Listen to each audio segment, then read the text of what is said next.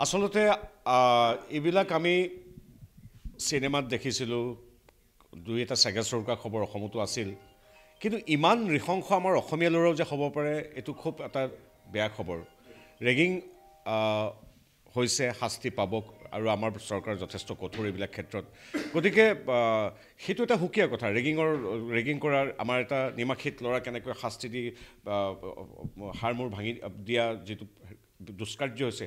তেওঁলোকে শাস্তি পাবই। কিন্তু শাস্তি পালে সকলো শেষ হৈ নাযায়। এনেধৰণৰ নিজ প্ৰৱণতা আমাৰ অসমৰ সমাজতো ছাত্ৰ সমাজতো হোৱাটো খুব বেয়া কথা। গতিকে আমি সেইটোহে এতিয়া চিন্তনীয় বিষয়। চৰকাৰে নিজৰ কামখিনি কৰিব। কিন্তু মই ভাবোঁ এগৰাকী অভিভাৱক হিচাপে এখন সমাজ হিচাপে আমাৰ প্ৰত্যেকৰে কৰিবলগীয়া আছে। এইটোৱে আমাৰ শেষ ৰেগিং হওক সেইটোৱে কামনা কৰিছোঁ। আৰু ইয়াত বহুতে কৈ আছে যে অখিল গগৈ ডাঙৰীয়াৰ ছাত্ৰ মুক্তি সংগ্ৰাম সমিতিৰ সাধাৰণ সম্পাদকজন হ'ল মূল নায়ক তেওঁক পলাতক। ইয়াত অখিল গগৈটো কোৱাগৈ নাই তুমি ৰেগিং কৰা বুলি? ইয়াত অখিল গগৈ ৰাজনীতি এইবিলাক কথা নাহে। ইয়াত তেওঁৰ কি ছাত্ৰ মুক্তি সংগ্ৰাম সমিতিৰ কেন্দ্ৰীয় সমিতিৰ মূল সাধাৰণ সম্পাদকজন হ'লেও যিজন মূল খলনায়ক সাধাৰণ হ'লেও তেওঁ কিন্তু আমাৰে অসমৰ ল'ৰা। কথাটো সেইটোহে।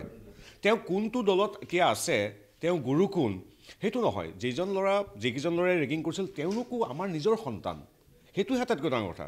তেওঁ বহুত দলে বা অখিল গগৈৰ বিৰুদ্ধে কোৱাৰ দৰে হয়। তেওঁ ছাত্ৰ মুক্তি সংগ্ৰাম সমিতিৰ মূল মুৰব্বী।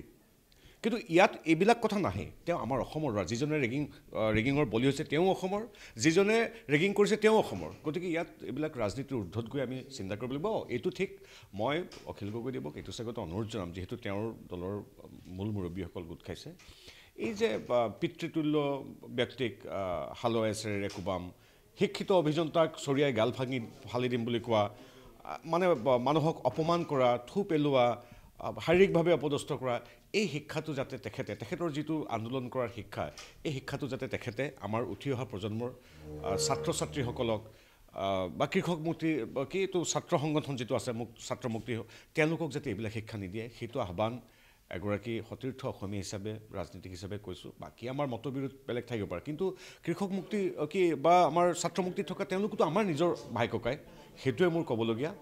আমাৰ যিজন আক্ৰান্ত ছাত্ৰ তেওঁৰ আশু আৰোগ্য আমি কামনা কৰিছোঁ আৰু তেখেতৰ আশু আৰোগ্য কামনা কৰিছোঁ আৰু যিসকল দোষী তেওঁলোকে শাস্তিটো পাবই আৰু ভৱিষ্যতে যাতে এইটো নহয় তাৰ বাবে আমি সকলোৱে চেষ্টা কৰিব লাগিব আৰু বিনম্ৰভাৱে মই অখিল গগৈদেৱকো অনুৰোধ জনাইছোঁ যাতে তেখেতে অৰাজক পৰিৱেশ সৃষ্টি কৰাত ঘৃতাহুতি নাঢালে।